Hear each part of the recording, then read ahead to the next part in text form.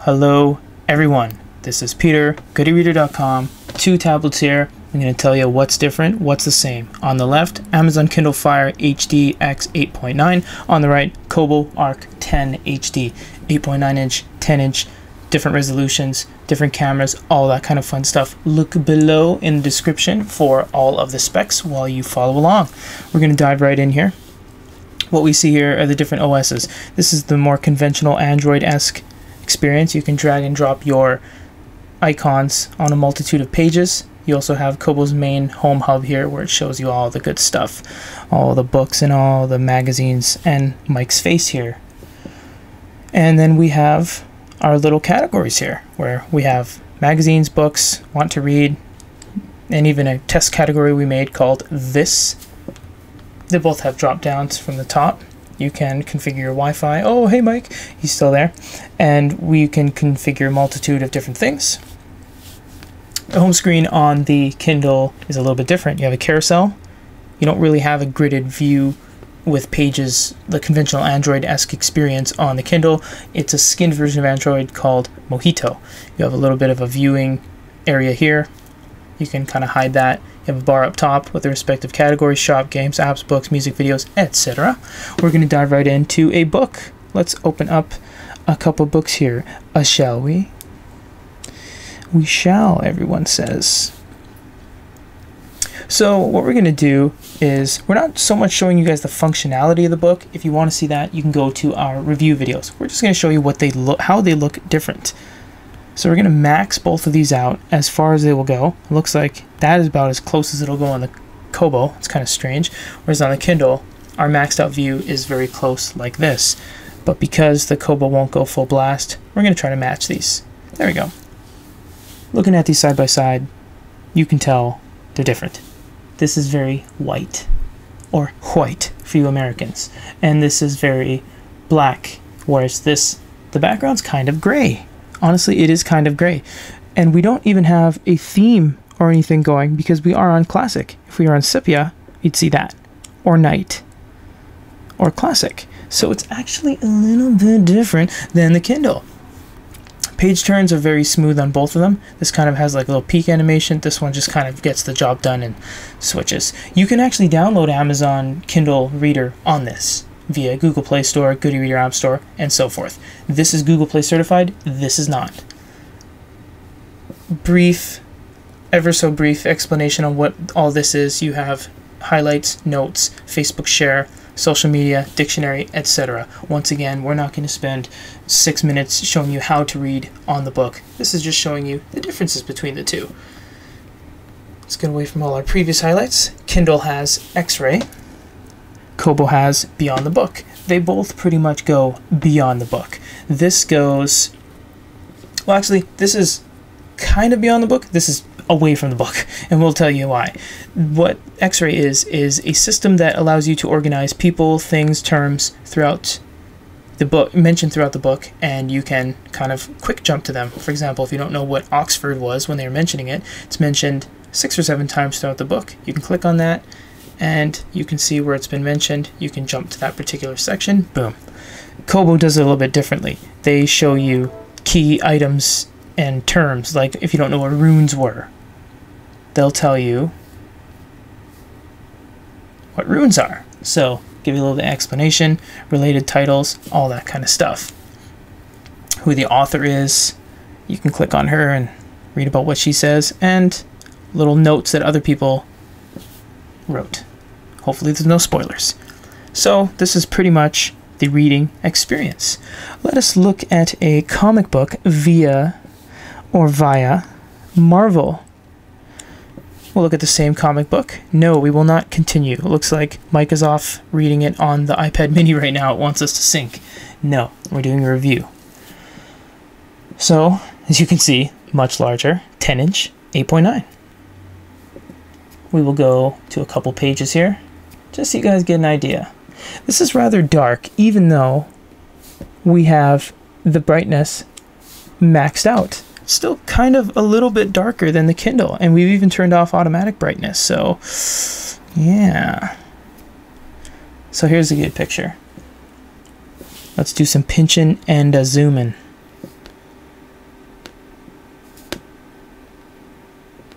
There we go. All right, fine. I'll follow you. Kobo doesn't zoom in that far, actually, whereas the Kindle zooms in very far. Both handling it very differently, although they were downloaded from different places. This was downloaded from the Good eReader App Store because it's not available on the Amazon App Store. This was downloaded from Google Play. Even though you can't zoom in very close on this, because it's such a big screen, you actually can read it pretty well. It's like kind of reading a regular comic book, because comic books are usually kind of this big, actually, now that I look at it.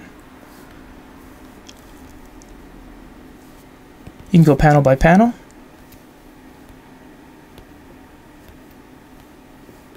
The screen on the Kindle is more glossy, feels really nice on your fingertip.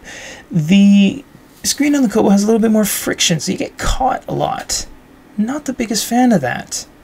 Although it's great quality and the resolution is killer. So this is the comic book experience.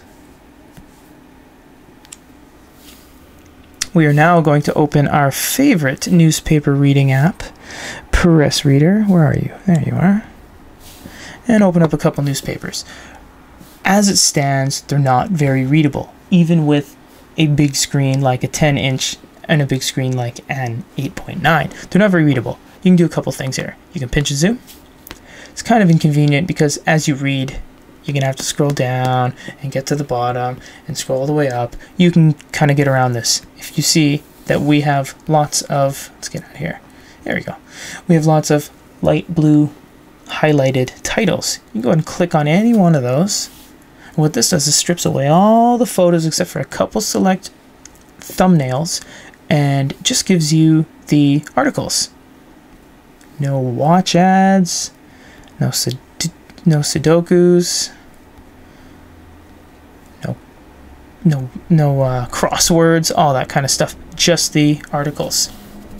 You can change the text on both of them. Pretty much the exact same. And you can long press as well to get a couple other features. Like so. And if you want to go back, click on page view. Goes right back to it. And you see we have all the ads here. Flyporter.com, all your flight ads, ran for oh Black Friday. Today's Black Friday, guys. What do I think of these two tablets side by side? Of course, it all does come down to you guys, but if I had to say, seeing that we've reviewed about I don't know 750 videos here, I would say that they're both pretty much the same price, 3.99, 3.99, exact same price. The Kindle feels a lot better in your hand. It's very light. It's the perfect size. Fits in your side bag, satchel, whatever you wear. The screen is great. It's very smooth and glossy. No screen protector really needed. Everything's very smooth. The Kobo, your finger feels like it's dragging on the screen. Like there's way too much friction all the time. And it gets very, very fingerprinty really quickly. It's also very heavy speaker quality, as you just heard on our Netflix video there, the quality on man, it's it's tough to call. They're both very high resolution, and what's even more amazing is that the Kobo has a 10 inch screen, which is bigger. Usually on smaller screens, the pixels get compressed, resolution gets compressed, naturally looks better. If you're looking at a video on a uh, iPod Nano, it's going to look really good because it's super compressed. You can't tell all the pixels. I think they're pretty much on par for video quality and audio quality. Hands down, it's the Kindle. The speakers are crisp, they're clear, they're loud, they're great. I think the Kindle has a lot of great features like Mayday, allows you to speak with a customer service representative any time of the day, 24 hours a day, to get help live with your device. But I like how the Kobo is Google Play certified. You will have to download things from Google, uh, the Good eReader App Store or the Amazon App Store, which doesn't have a whole lot of apps. And a lot of the apps are not the ones you'd really we, we, we, we, you would really look for. For example, we were looking for Marvel and couldn't find it. Only Comixology was available. It all comes down to you guys. Check out our reviews of each of these individually. Check out the comparison as you have here. Really pause on those times when we've pinch and zoomed and looked at the comic books and ebooks. Really see which one you like more. Remember, this has 3.7 million books available on the Kobo store. This has about 1. Point, this about 2 million on the Kindle store. They both do audio they both have speakers, they both have great screens, they both have cameras, they both do a lot of stuff, and they both allow you to side load apps as well. To me, that's the most important because for partial app developers, we like to side load our own stuff. Leaves everything a lot more flexible, unlike Barnes & Noble that kind of restricts you. Leave it up to you guys. I am rambling on check out our YouTube channel, youtube.com slash goodereader, 750 plus videos. And for all the other information, you go to goodereader.com for all the latest reviews, previews, interviews, and all other pretty much everything to do with e-readers, tablets, and digital publishing. And for Good eReader, this is Peter. Everyone, have a great day.